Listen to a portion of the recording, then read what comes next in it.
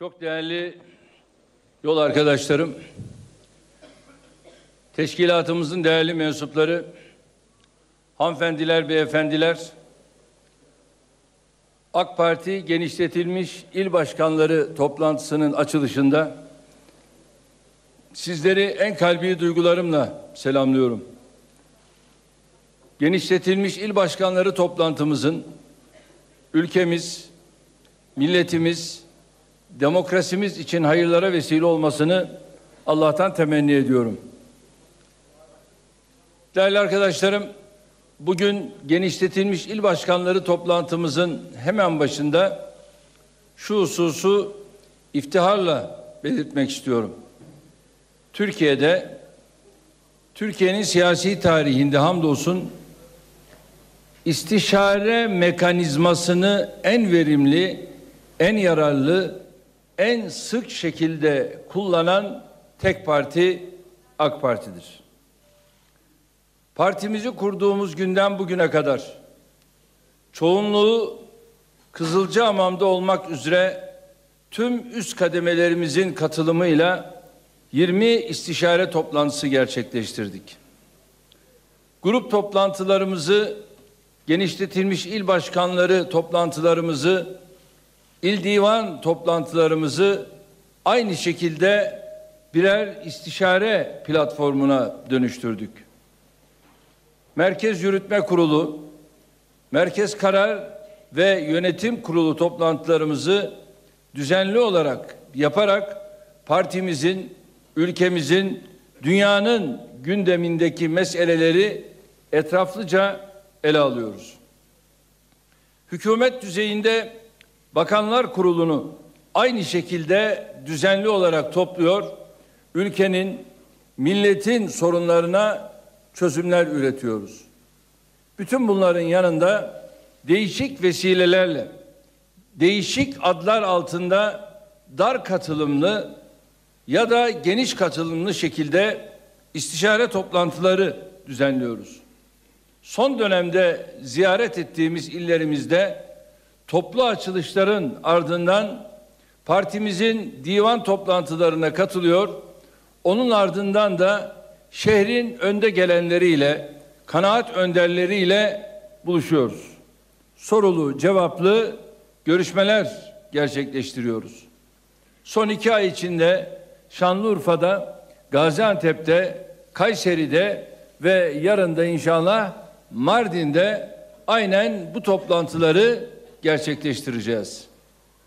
Ve bütün bunlarla beraber yine son haftalarda coğrafi bölgelerimiz bazında milletvekillerimizle il başkanlarımızı, kadın kollarımızı, gençlik kollarımızı, belediye başkanlarımızı bir araya getiriyoruz ve kendileriyle aynı şekilde bölgenin sorunlarını, başta terör sorunu olmak üzere bunları karşılıklı olarak değerlendiriyoruz.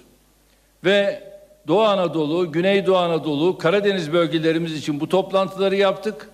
Haftaya inşallah Orta Anadolu bölgesi milletvekilleriyle bu toplantıyı gerçekleştireceğiz. Peyderpey, Ege, Marmara, Akdeniz bölgeleriyle de bu toplantıları yapmak suretiyle bu süreci, bu daireyi inşallah devam ettireceğiz. Değerli kardeşlerim, çok değerli yol arkadaşlarım, bakınız gerek Türkiye'de gerek dünyada AK Parti'nin üst üste elde ettiği başarıların sırrını çözmek için çok sayıda araştırma yapılıyor. Analiz yapılıyor. Bu konuda tezler hazırlanıyor. Özellikle Türkiye'de kimi siyasi partilerin AK Parti'yi taklit etmek, AK Parti'ye benzemek, AK Parti'yi örnek almak için çok ciddi kafa yorduklarını, çaba sarf ettiklerini görüyor ve biliyoruz. Biz başarısının sırrını gizleyen veya gizleyecek olan bir kadro değiliz. İlim yitik maldır. Nerede bulunursa alınmalıdır. Biz ilmi bulduğumuz yerden aldığımız gibi ilmi saklayanlardan da olmadık, olmayız, olmayacağız. Bizim başarımızı eğer hala merak edenler, bunu eğer hala öğrenememiş olanlar varsa onlara buradan açık açık tavsiye ediyorum. Bizim başarımızın sırrı istişaredir. Biz her meseleyi kendi arasında konuşan, tartışan, müzakere eden bir kadroyuz. Her meseleyi milletiyle şeffaf şekilde paylaşan, milletine danışan, milletinin çizdiği istikamette harfiyen uygulayan bir kadroyuz. Biz millete tepeden bakan, milleti yukarıdan aşağıya doğru dizayn etmeye kalkışan toplum mühendisleri değil, milletle aynı yöne bakan, milletle gönül bağı kuran, milletin diliyle konuşan bir hareketiz.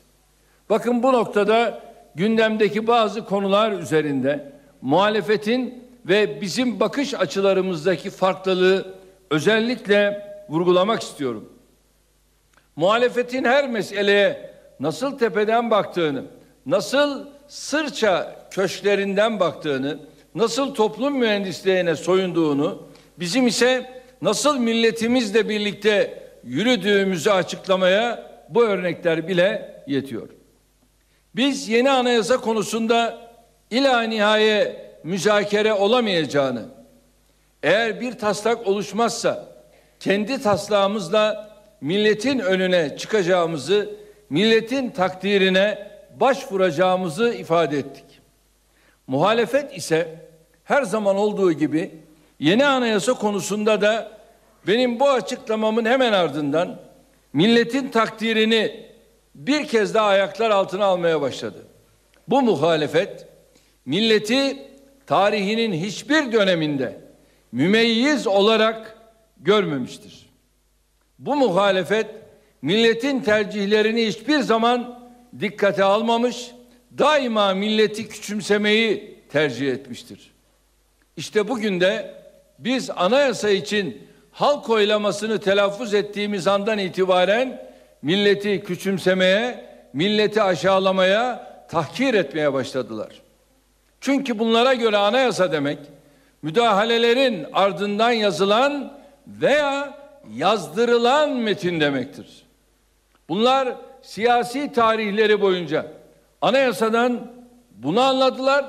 Darbenin veya darbelerin gölgesinde hazırlanan metinleri anladılar. Ne milletin ne de Türkiye Büyük Millet Meclisi'nin bir anayasa yazabileceğine, bir anayasa yapabileceğine hiçbir zaman inanmadılar. Ve bugün de inanmıyorlar. Biz anayasa konusundaki çalışmaları 12 Haziran 2011'de seçim sandıkları kapatıldıktan hemen sonra başlattık. Daha o günün akşamı talimatı verdik ve çalışmalar başladı. Bir buçuk yıldır hem toplumun tüm kesimleriyle hem Türkiye Büyük Millet Meclisi çatısı altında uzlaşmayı en üst düzeyde önemseyen ve muhafaza eden biz olduk. Partimizin milletvekili çokluğuna bakmadan komisyona diğer partilerin tümü kadar biz onların her birinin verdiği üyeyi verdik. Bakınız bizim şu anda 324 milletvekilimiz var. Ve biz 324 milletvekiliyle 3 temsilci verdik. Diğer 3 partinin değerli kardeşlerim şu an itibariyle 215 milletvekili var. Bizim 324, onların 215. Onlar ise 9 temsilci verdi.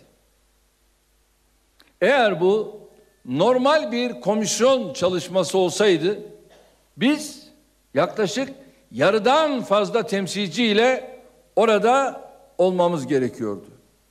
Ama biz bunu yapmadık. Bizim derdimiz üzümü yiyelim. Milletçe yiyelim. Engellemeyelim. Her siyasi parti gelsin kanaatlerini ortaya koysun ve bir an önce yeni anayasayı hazırlayalım. Biz uzlaşmanın tarafı olduk. İttifakın tarafı olduk. Bundan sonra da uzlaşmanın, uyumun, ittifakın tarafı olmaya kararlı şekilde devam edeceğiz. Ama şu ana kadar görüldüğü kadarıyla yüzü aşkın madde görüşüldü ama mutabık kalınan madde sayısına baktığınız zaman 30-31 tane madde de mutabık kalınmış vaziyette. Şimdi bunun bedelini faturasını kime ödetmeye kalkıyorlar? Yine hala ısrarla üçü de bakıyorsunuz çıkıyor. İşte AK Parti engelliyor. Ya AK Parti niye engellesin? Şu anda AK Parti'nin böyle bir engelleme gücü mü var? Üç tane üyeyle biz oradayız, dokuz üyeyle siz oradasınız. Geçmişte ifade ettim, bugün de söylüyorum. Masadan kalkan taraf biz olmayacağız. Ama bu meseleler ila nihayede devam edemez. Son olarak biliyorsunuz 2012'nin sonuna kadar bitirilecekti. Bitmedi ve Sayın Meclis Başkanımız bunu biraz daha uzatalım diye bizlere bir nezaket ziyaretinde bulundu. Biz düşüncelerimizi söyledik. Diğer siyasi partiler de söyledi. Kimi süresiz dedi, kimi 23 Nisan dedi. Biz de kanaatimizi söyledik. Sonunda Mart sonunda bunu bitirelim diye açıklamasını yaptı. Ve biz de diyoruz ki şu anda meclis başkanımızın yaptığı bu açıklama istikametinde çalışalım. Bu iş bitsin. Yoksa bu iş böyle uzun uza diye sürecek bir iş değil. İşte buyurun. Libya'da, Mısır'da bu kadar sıkıntıların yaşandığı, adeta darbelerle iç içe yaşayan, demokrasiden nasibini zerre kadar almamış buralarda bile e bakınız şurada 6 ayda 8 ayda anayasa hazırlıyorlar. Biz her zaman gururla konuşuyoruz. Biz şöyle anayasa yaparız. Böyle anayasa yaparız. Şu kadar kısa zamanda yaparız. Hadi yapalım hadi. Ne oluyor? Niye yapamıyoruz? Niye bu bu kadar uzuyor? Tek sebebi var. O da şudur. AK Parti'nin talebi olan bir şey gerçekleşmesin. Veyahut da AK Parti'yi bir suçlu masasına nasıl oturturuz? Değerli kardeşlerim, gururla şunu söyleyebiliriz. Allah bizim milletimiz AK Parti'yi gönül koltuğuna oturtmuştur.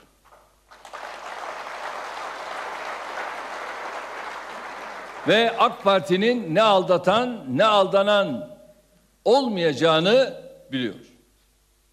Yeni anayasa için yeni bir anayasaya ihtiyacın bu kadar açık net olduğu ortadayken toplumda büyük bir uzlaşma mevcutken bunun heba edilmesine biz göz yummayız.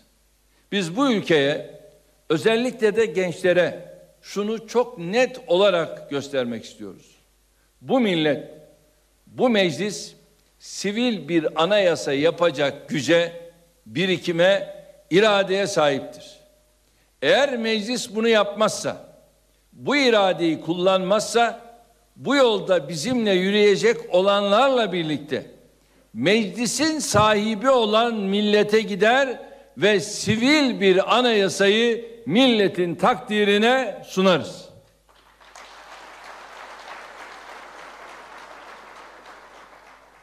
Dayatma anayasalara, oldu bitti anayasalara alışkın olanlar elbette bunu hazmedemezler ve hazmedemeyecekler.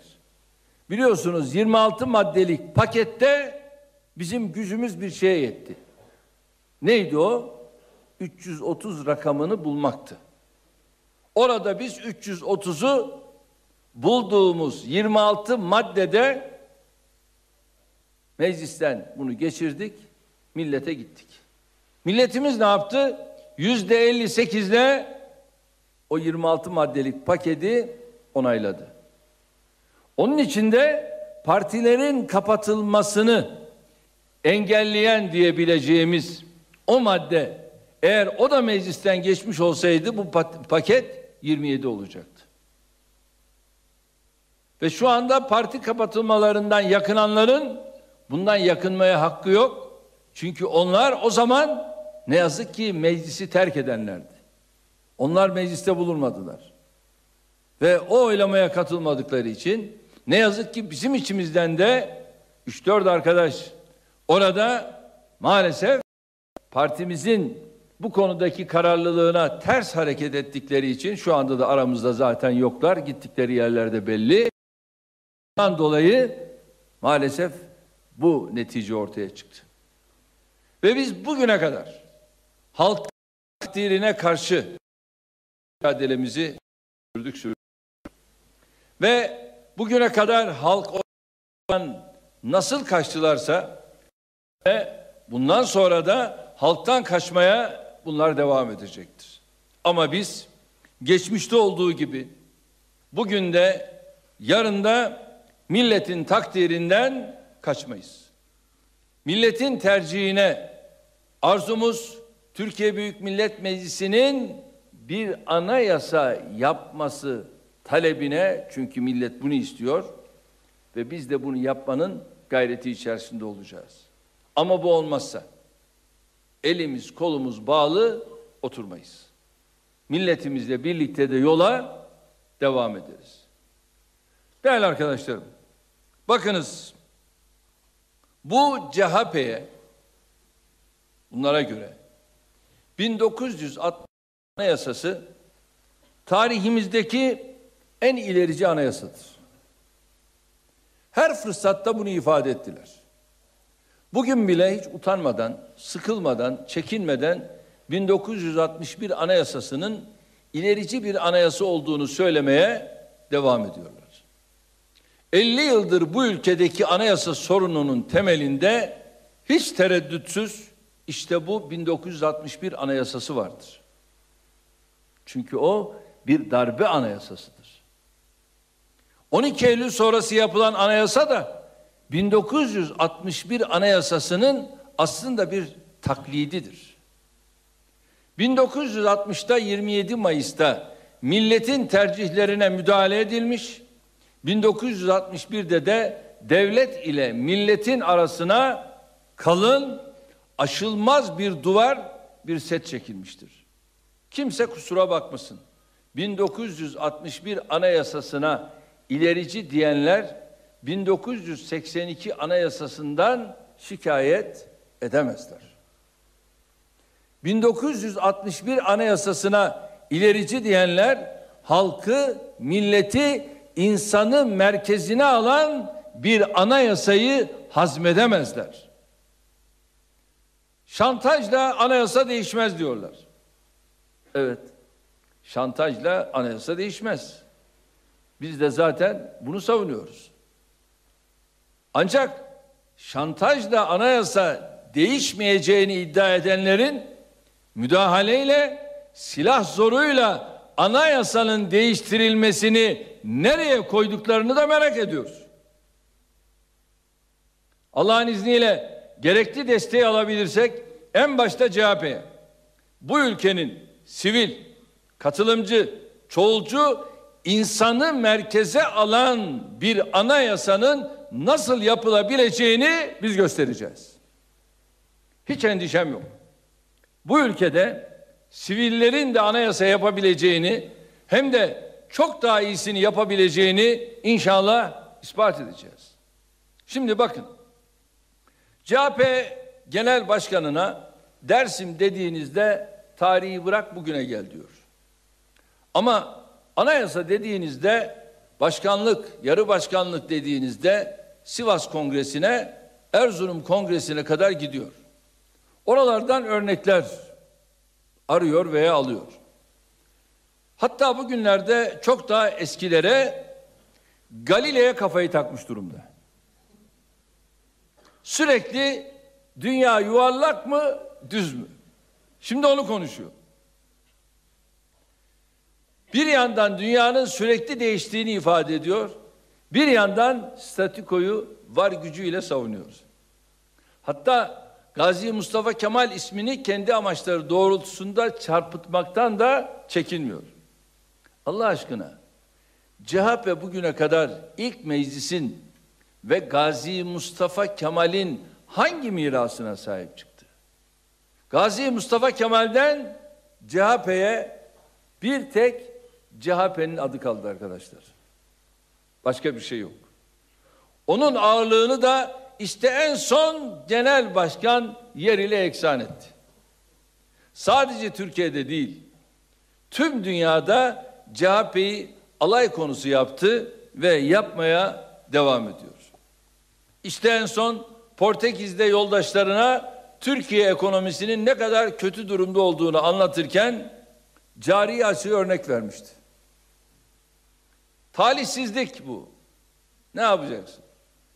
CHP Genel Başkanı kendi ülkesini yurt dışında cari açık üzerinden vurmaya çalışırken, karalarken işte önceki gün cari açık yüzde 36,6 oranında geriledi. Her şeyde tersine gidiyor. Portekiz'de yoldaşları CHP Genel Başkanı'na kıs kıs gülmüşlerdi. Şimdi bu cari açıktaki düşüşü duydularsa artık kahkaha atmışlardır. CHP Genel Başkanı'nın ciddi şekilde açığa düştüğü bir başka hususu da burada vurgulamak zorundayım. Bakınız cilve gözünde Suriye gümrüğünde pazartesi günü bir patlama meydana geldi. Patlama anından itibaren herkes itidalli davranırken gerçekten üzüntümüz, hüznümüz baya büyükken ve ne oldu, ne bitti, bütün bunlar üzerinde çalışmalarımızı en geniş anlamda sürdürürken ve herkes olayın aydınlatılmasını, netleştirilmesini beklerken genel başkan ve yardımcıları başta olmak üzere CHP'liler hemen bunu biz nasıl kendimiz için bir siyasi ranta dönüştürürüz diye böyle bir telaşın içine girdiler. Daha ilk saniyelerden itibaren bu patlamadan dolayı Türkiye'yi, hükümeti suçlamaya başladılar.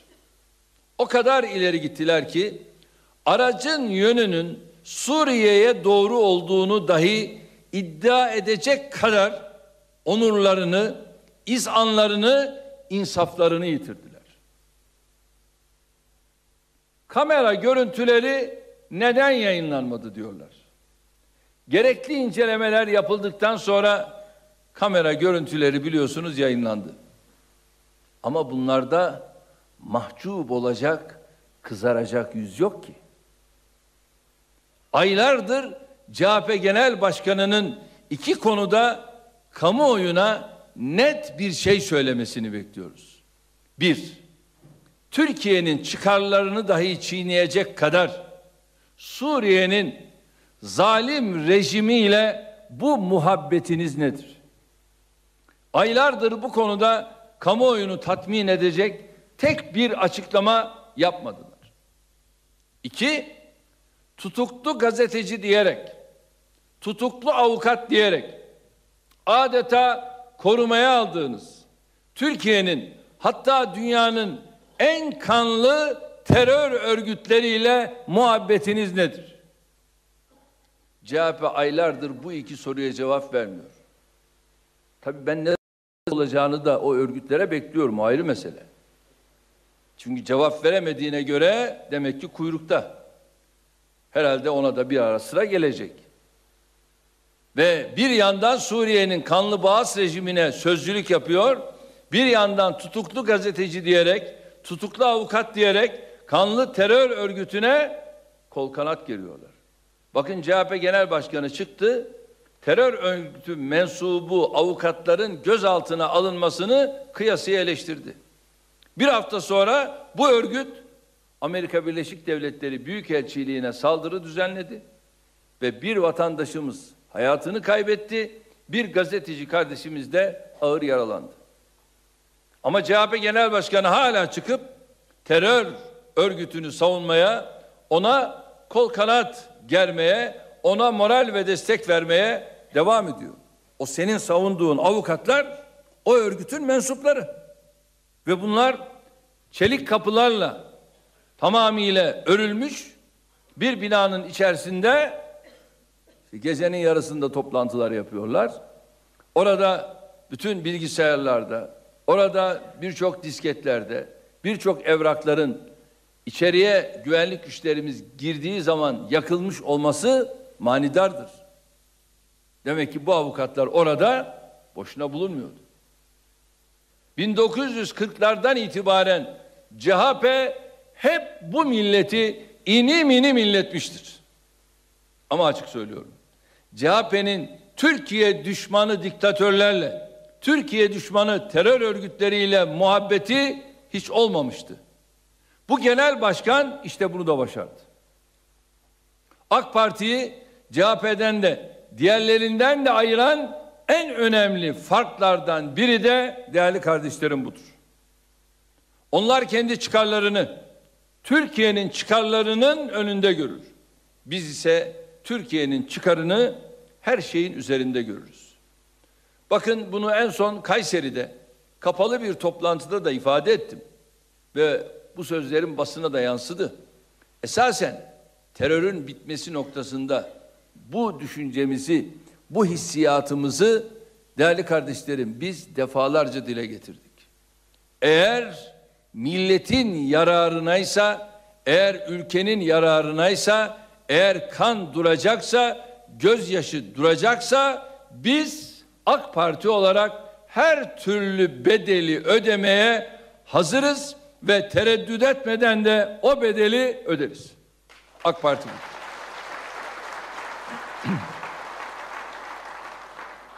Şunu herkes bilsin ki attığımız ve atacağımız adımlar milletimize rağmen olmaz. 76 milyonun hissiyatını gözetiriz. Değerlerini gözetiriz. Acılarını, gözyaşını kesinlikle gözetiriz. Adımlarımızı da ona göre atarız. Doğru bildiğimiz, hak bildiğimiz yolda tereddüt etmez, yürürüz. Bakın bu süreçte BDP'ye biz bunu ısrarla izah ettik. AK Parti olarak biz bir risk alıyor, ülkenin kanayan yarasını sarmanın mücadelesini veriyoruz. BDP sen bu riski almak durumundasın. Eğer Kandil'den gelecek mesaja göre hareket edecek olursan ha bilesin ki ben bu kanın durması için şu kadar gayret ettim deme hakkına sahip değilsin. BDP kendi seçmenine mesaj verme kaygısıyla değil, popülizm yaparak değil, şeffaf, samimi, iradeli ve dirayetli şekilde bu süreci götürmek zorundadır. Eğer BDP MHP gibi davranırsa, istismarı, popülizmi bir yöntem olarak seçerse, alışkanlıklarını bir kenara koymazsa, yani cesur davranmazsa bu sürece hiçbir katkısı olmaz ve olamaz. Bakın ben MHP Genel Başkanı'nın son derece nezaketsiz, son derece sakil ifadelerine cevap vermeyeceğimi ifade ettim. MHP Genel Başkanı kendisine sanal bir dünya tasavvuru oluşturmuş ve o tasavvurun içinde kendisi söylüyor, kendisi dinliyor. Dikkat ederseniz ne çözüme ilişkin, ne barışa ilişkin, ne huzur ve güvenliğe, ne de kardeşliğe ilişkin tek bir cümle onun ağzından duyamazsınız. Yoktur. Sadece komplo teorileriyle, sadece öfke ve nefretin diliyle, sadece hakaret ederek muhalefet yaptığını zannediyor. İnsana ilişkin, insanlığa ilişkin cümle kurmadığı sürece MHP Genel Başkanı'nı bu konuda muhatap almamaya devam edeceğiz. Değerli kardeşlerim, aslında ben burada terör meselesine özellikle de kardeşliğimize ilişkin son derece çarpıcı, son derece duygulandırıcı, aynı zamanda samimi bir dili aktarmak arzusundayım. 30 yıllık süreçte herkes konuştu.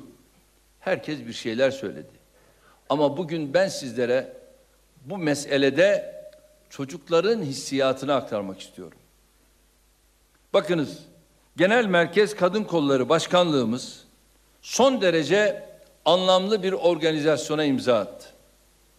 AK Parti Genel Merkez Kadın Kolları'nın öncülüğünde Diyarbakır Valiliğimizin, Çanakkale Valiliğimizin ve milletvekillerimizin katkılarıyla 90 çocuk Diyarbakır merkez ve ilçelerden alındı, uçağa bindirildi ve Çanakkale'ye götürüldü ve şehitlikler orada ziyaret edildi. Dönüş yolunda çocuklardan izlenimlerini duygularını anlatan mektuplar yazmaları istendi. Önümüzdeki ay inşallah Çanakkale şehitlerimizin huzurlarında bir kez daha yad edecek. Onlara Fatihalarımızı okuyacağız. Ancak 18 Mart'a doğru ilerlerken Çanakkale ruhunun, Çanakkale şehitlerinin bizi nasıl tek bir millet yaptığını, bizi nasıl birbirimize kardeş yaptığını göstermesi açısından bugün sizlere bu mektuplardan bazılarını aktarmak istiyorum. Bu 90 çocuktan bir kısmının terör örgütü tarafından istismar edilen çocuklar olduğunu özellikle hatırlatmak istiyorum. İsimleri vermeden özet olarak birkaç mektubu aktarıyorum. Ama biz dikkat edin bu çocukların eline ne molotof veriyoruz ne taş veriyoruz.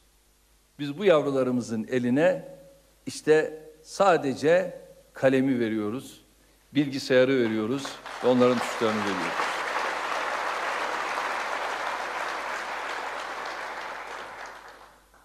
Sayın Başbakanım, bizi bu geziye gönderdiğin için teşekkürlerimi sunarım. Sizin sayenizde ilk defa uçağa bindim. Diyarbakır'da fabrikalar açılsın, insanlar iş bulsunlar, sokakta hırsızlık yapıp polisimize taş atmasınlar. Akan kanı durdurmanızı istiyoruz. Kan akmasın. Çanakkale'de olduğu gibi ikisi de bizim kardeşlerimiz, ağabeylerimiz. Akan kanın durmasını istiyoruz. Sizi çok seviyoruz. Lütfen bu sorunlarımızı halledin. Lütfen kan akmasın artık. Bu arada bizi gönderdiğiniz öbür arkadaşlarımızı da Çanakkale'ye göndermenizi istiyoruz. Bir başka yavrumuz, ben Çanakkale'yi çok sevdim. Çok güzeldi oralar. Orada şehitliğe gittik ve çok duygulandım.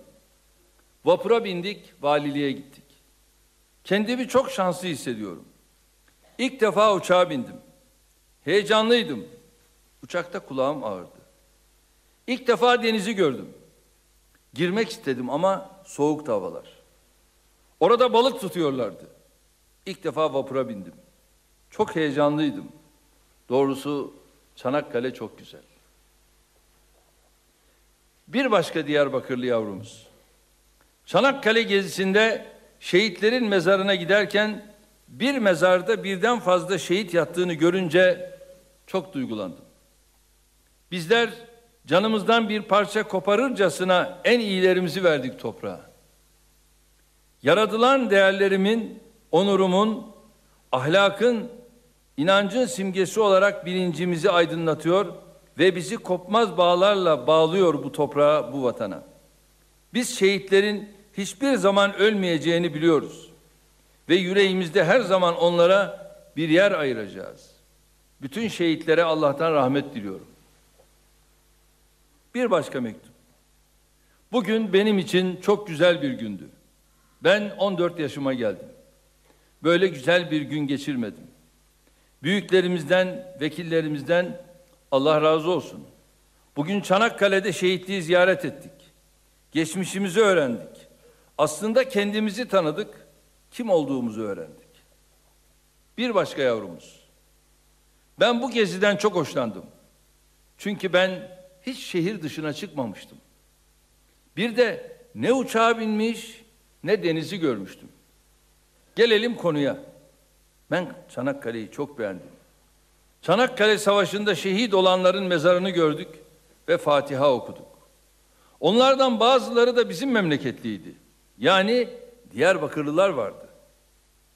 Bunlardan Silvanlı, Hazrolu, Liceli, Çüngüşlü hepsi bizim için savaşmış. Memlekete sahip çıkmıştı. Biz de onların sayesinde buralara geldik. Allah herkesten razı olsun. Başta milletvekilleri ve en başta AK Parti Başbakanımızdan sağ olsun bu kadar. Bir başka mektup. Çanakkale'de bugün hem sevinç hem üzüntü vardı gözlerimizde. Ama yine de sevindik buraya gelerek. Sağ olsun AK Parti milletvekilleri bizleri yalnız bırakmadı. Ama yine de güzeldi. Bir daha mümkün olursa yine gitmek isterim. Vallahi ben orada şehitlik mezarlığına gittiğimde gözlerinden yaş geldi orada. Dedelerimizin savaştığı yer olduğu için ama her memleketten insanlar gelmişti. Elimde olsa ben de giderdim savaşa. Orada milletimiz kahramanca şehit düşmüşler bu vatan toprakları için. İnşallah Allah kısmet ederse biz de bu vatan için, bu topraklar için şehit oluruz. Amin.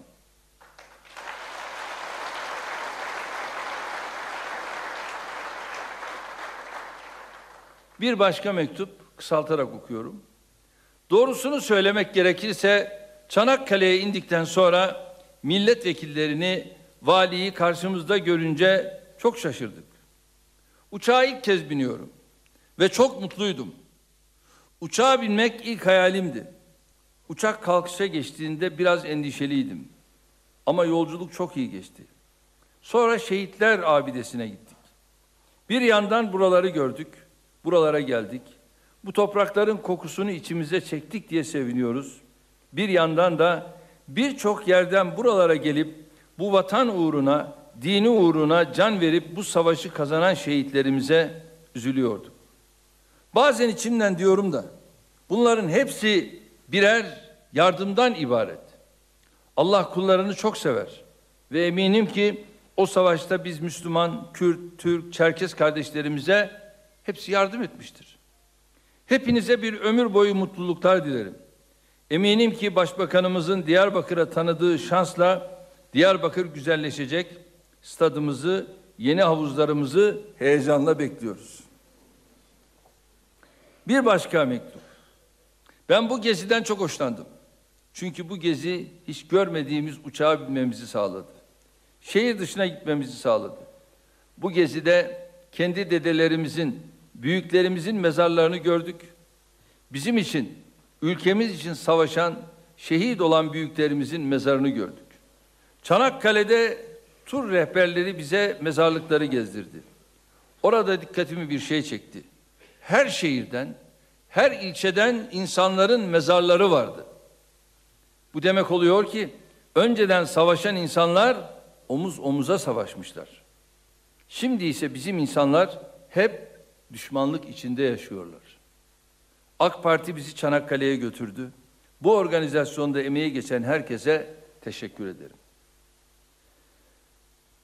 Son bir mektubu daha burada kısaltarak aktarıyorum. Merhaba, ben lise mezunuyum. Bu gezide emeği geçen her kim varsa şükranlarımı sunuyorum. Ben geziden gördüğümüz yerleri, yediğimiz yemekleri anlatmak istemiyorum. Yediğimiz, içtiğimiz bize kalsın. Gelelim asıl meseleye. Bugün bu geziye her kim katıldıysa eve gidince başını yastığa koyduğu an rahat uyuyacaksa o insanın vicdanı körelmiş, pas tutmuş demektir. Çünkü bugün binlerce şehit bize uyudukları yerden ders verdi. Diyarbakırlı şehit, Antepli, Giresunlu, Hataylı, Kayserili, Tokatlı, Yozgatlı. Dediler ki, ey torunlarımız ne haldesiniz? Biz siz beraber rahat yaşayın diye toprağa düşmedik mi? Oysa biliyoruz ki toprak bizim değil, sizin üzerinizde. Sana diyorum Diyarbakırlı Mehmet. Sana diyorum İstanbullu Hakan. Ne haldesiniz? Hani kardeşliğiniz? Hani birliğiniz? Üstünüzdeki toprağa atın, dirilin diyorlardı. Soruyorum vicdanlara. Ne zaman dedelerimizi dinleyeceğiz? Ne zaman sarılacağız? Ne zaman beraberliğimizi ilan edeceğiz? Ne zaman ki herkes beraber ölen her kim olursa olsun bugün bir genç öldü, bu vatanın evladı öldü derse o zaman birlik olacak.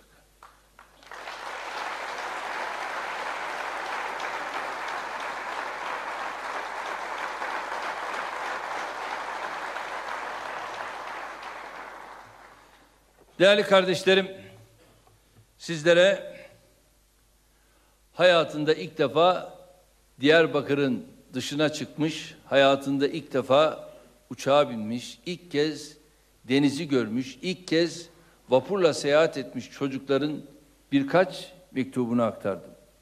Bunları genel merkez kadın kollarımız kitap haline de getirdi ve bugün sizlere de dağıttı veya dağıtacaklar.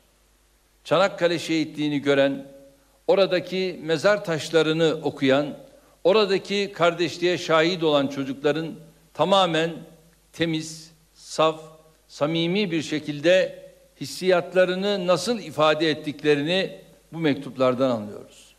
Her zaman ifade ediyorum. Şehitliklerimiz bizim kardeşliğimizin anıtıdır. Şehitliklerimiz tarihimiz olduğu kadar bizim aydınlık istikbalimizdir. Türkiye genelinde her çocuğa işte bu şekilde ulaşmak zorundayız. Her çocuğa el uzatıp her çocuğun elinden tutup başta Çanakkale olmak üzere şehitliklerimizle tanıştırmak zorundayız. Genel Merkez Kadın Kollarımızın ellerinden tutmasıyla inanıyorum ki bu 90 Diyarbakırlı çocuğun hayatı değişecek, ülkeye bakışları değişecek. En başta da millet tasavvurları doğru olarak şekillenecektir. Terör örgütünün sorumsuz siyasetçilerin biz ve onlar diyerek ortaya koydukları ayrım şehitliklerin de o şahidelerinde Diyarbakır'ı, Hakkari'yi, Van'ı, Yozgat'ı, Çankırı'yı, İstanbul'u görünce mutlaka değişecek. Bizim birlikte Türkiye olduğumuz daha da somutlaşacaktır. Bir kez daha genel merkez kadın kollarımızın başkanlığına özellikle tüm bu çalışmada emeğe geçen kardeşlerime teşekkür ediyorum. Diyarbakır Valiliğine, Çanakkale Valiliğine, milletvekillerimize teşekkür ediyorum. Bu etkinliklerin daha da çoğaltılmasını özellikle sizlerden rica ediyorum. AK Parti teşkilatı olarak biz bu sürece yüreğimizi koyduk. İnşallah biz bu sorunu, terör sorununu çözecek 2023'e kardeşlikle yürümeye devam edeceğiz. Sözlerime bu noktada son verirken genişletilmiş il başkanları toplantımızın hayırlara vesile olmasını diliyorum. Sizlere sevgi, saygı dileklerimi sunarken hepinizi Allah'a emanet ediyorum.